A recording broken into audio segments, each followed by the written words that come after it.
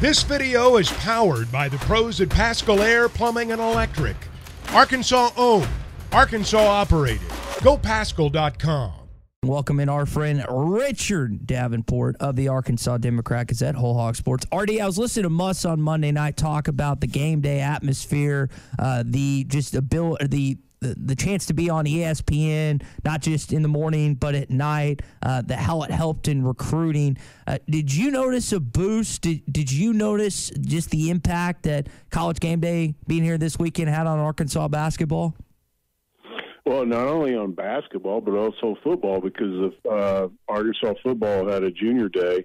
And one of the things that they did, they spent about an hour uh, in Bud Walton Arena when uh, game day was uh, being broadcast. So uh, that was, uh, you know, that was a plus for basketball and and for football. And the kids, uh, most, a lot of the kids that I talked to, as far as football, uh, mentioned that as one of the highlights is uh, being able to see that uh, uh, in Bud Walton Arena, and also uh, and emphasize the fan support of uh, uh, of Arkansas. So uh, it was a plus plus for both. But uh, then I talked to Parker Jefferson, uh, 6'10", 6'11", uh, big man in the 25 class, four star, who has Arkansas ties. His mom played at Arkansas in basketball, and his dad played football at Arkansas.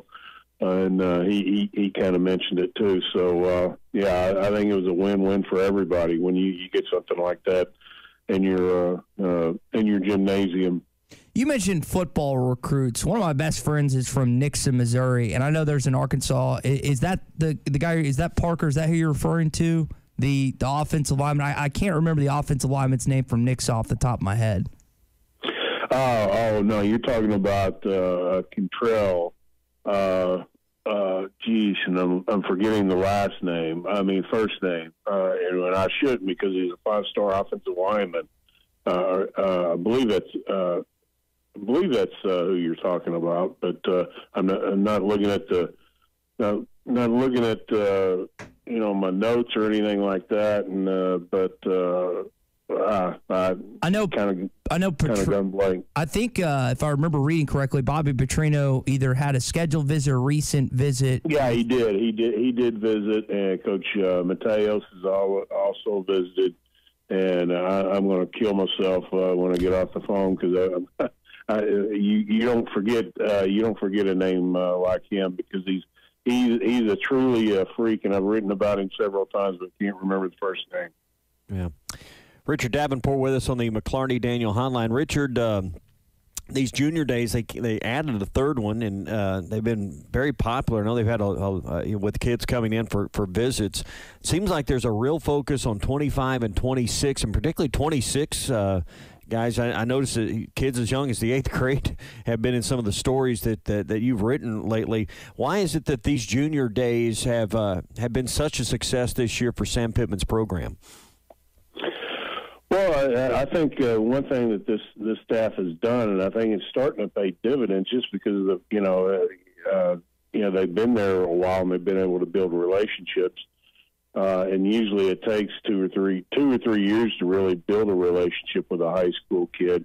So some of these guys that are visiting, they've already been talking to over the last year or so, and uh, that's that's that's how they're able to get them on campus and just just pure hard work and and making sure that they they know that they're wanted and and obviously they're putting out the offers like you said and uh, that's part of the process. Uh, oftentimes a kid will not visit uh, unless they have a, an offer. Uh, in the old days, you might be able to do that and then maybe offer later. But uh, and that still happens. But uh, oftentimes, kids uh, and parents will say, "Well, you know, until they offer, we won't visit." So. Uh, that's another thing they they've been offering early, and, and you're seeing that uh, even even today.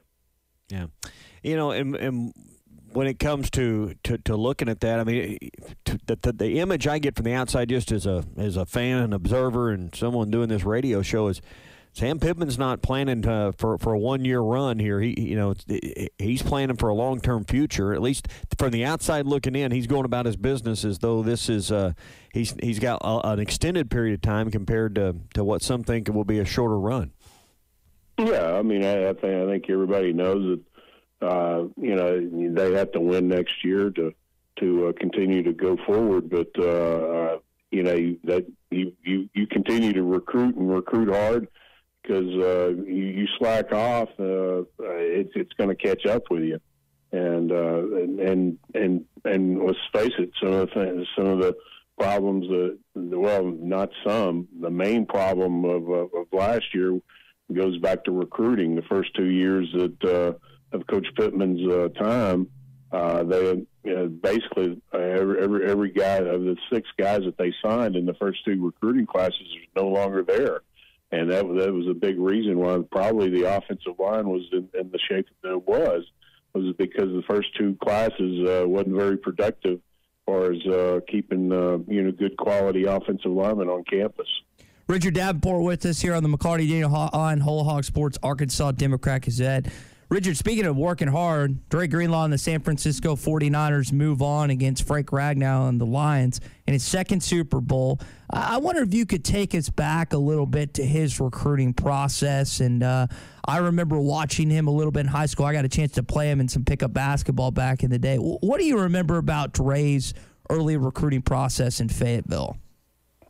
Well, you know, he was committed to Arkansas State, and Arkansas kind of took took a late uh, a late look at him.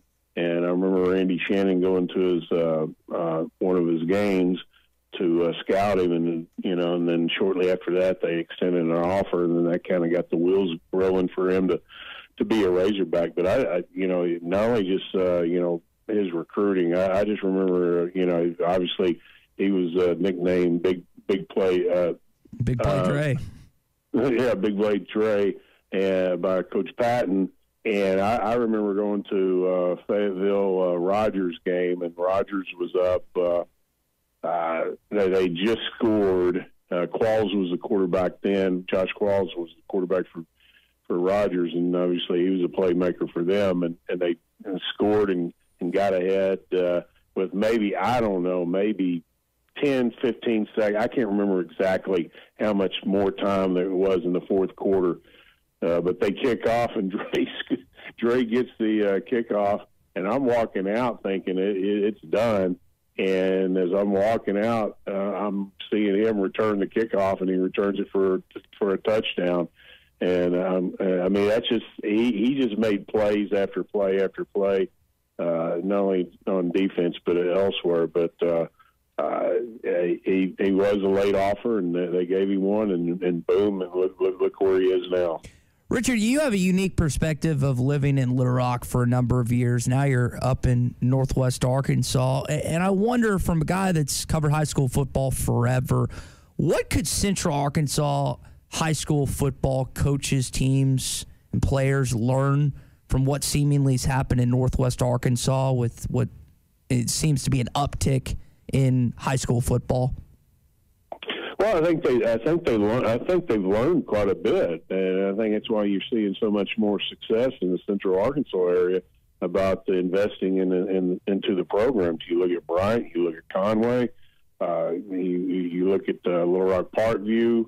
Uh, I mean, uh, Central Arkansas is uh, is uh, definitely on the move uh, uh, up as far as what what they've done in the past as far as high school football and uh, and, and and you can you can look at, at what Northwest Arkansas did for many of years and can, can continue continues to do. You know, a prime example, Fayetteville winning the state championship. Uh, that that kind of that kind of motivated Central Arkansas to get their act together, and, and I think that's uh, made uh, football in the state overall just that, that much better. Yeah, and uh, you know I think we'll continue uh, continue to see that that grow and change. Uh, I think you start to see some of that success, and I, I think it just like anything else we talk about, it comes back to coaching. I mean, I think you look at Little Rock Parkview and what's happened with uh, Brad Bolding and his brother coming in there, and the success that they've had over the last few years. Man, when you hire the right coach, good things seem to seem to happen. Uh, eh, public yeah, school, private exactly. school, it I mean, it, it it's a to me a pretty simple solution. You just got to go get the right coach. Now, who that is, that's the harder part. But the right coach is always the answer. Yeah, because you, know everybody, every, anybody knows anything about high school football. A lot of it's just getting the kids to come out and play, and uh, and, and getting them out of the hallway, and, and and it takes a, a highly motivated uh, coach to be able to do that and get the kids to to, to realize, hey, we we can do something here. And, uh, and then then you get then you win two state titles like uh, Parkview's done. I mean, it's not so uh, it's not so difficult getting kids out of the uh, uh, you know out of the hallway. I mean, they're probably most of them are not not a, not not not necessarily just walking the hallway now. They're they're they're playing football. So uh, that it, it just takes uh, just takes that right coach, like you said, and that's that's that that's all levels: college football, uh, professional football. You get the right coach, and uh, you you can you can turn things around. BetOnline is your number one source for all your betting needs. Get the latest odds, lines, and matchup reports for baseball, boxing, golf, and more. BetOnline continues to be the fastest and easiest way to place your wagers, including live betting and your favorite casino and card games available to play right from your phone. Head to the website or use your mobile device to sign up today and get in on the action. Remember to use our promo code BLEAV. That's B L E A V for your 50% welcome bonus on your first deposit. Bet online, where the game starts.